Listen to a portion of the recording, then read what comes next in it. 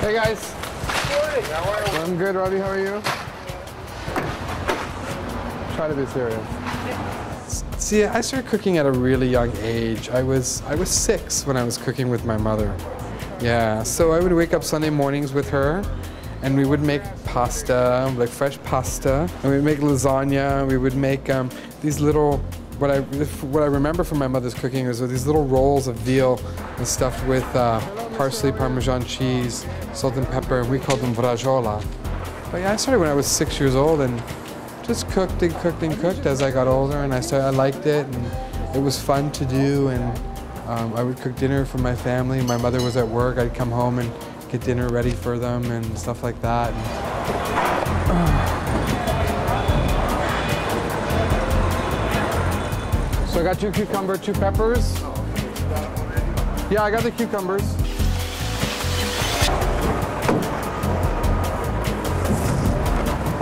My, my parents are from Italy. They came from, uh, my parents are from a, a, part of Italy called Puglia, uh, a little, little village called Anzano. Um, they're both from the same village, actually. Uh, my father came here in the 50s. Uh, my mom followed in the 60s.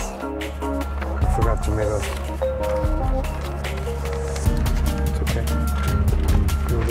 Yep, let's go. Cooking wise in school, I, I, took a little bit in high school, what they offered, but there wasn't really a great deal. But um, in college, I, I, took a little bit more at George Brown and stuff, and, and then working around and stuff like that. And then I finished my, I finished my studies in Italy. The restaurant I was working at at the time, um, the owner, um, she, she pushed me very hard to, uh, to do this, which I, I thanked her for afterwards, because at first I didn't want to do it. I didn't feel um, I wanted to go to Italy, but then after once the idea entered my head and I it started to stew a little bit, I thought, yeah, this could this could be good. So uh, I was in Italy for almost a year. What made me come back to Toronto? There, there's no city like Toronto. I, I don't think. Um, the only city I would find close to Toronto would be New York. It is my favorite. Um, just with what we have and the multiculturalism that's here and all the, all the wonderful little pockets in our city that we have. I knew I was ready to open a new re uh, a restaurant for myself and uh, further my career and, you know, and showcase my food and, and what I wanted to do and not what, you know, the owner of the restaurant wanted to do. And, and this way, you know, I could have a little bit more freedom and, you know, and create my own dishes. Did you say yes? You had a, a case for me?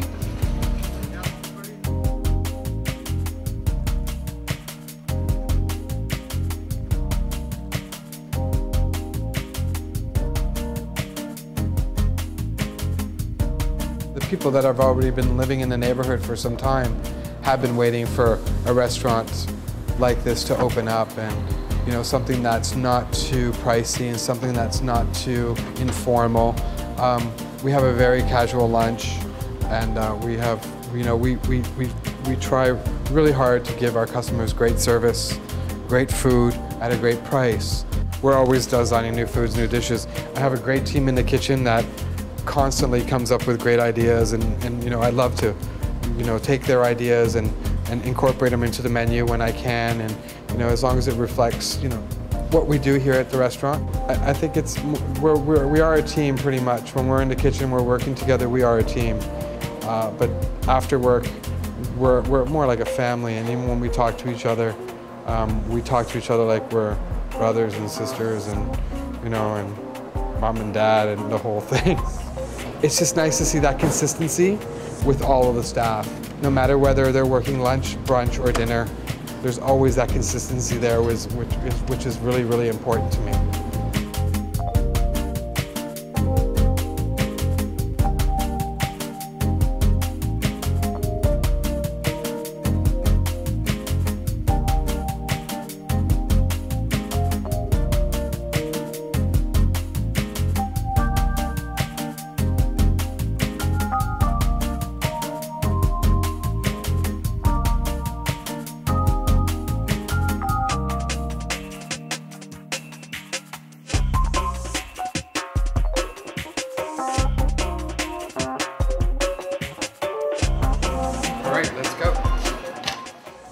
I find when I'm cooking, it's it's it's very automatic for me, and when I'm preparing something, and I know that you know it needs a little bit of, a little bit more herbs in it and something, but it's, it's coming from my heart when I cook.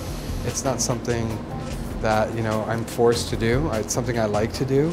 So when it's something you like to do, it's not boom, boom, boom. It's you know a lot of thought goes into little things and little flavors, and this could use a little bit more of that. This could use a little bit more of this, and uh, and, and, the flavors just come out. And my, my satisfaction is watching the plates go back to back to the kitchen, back to the dish area, and they're clean.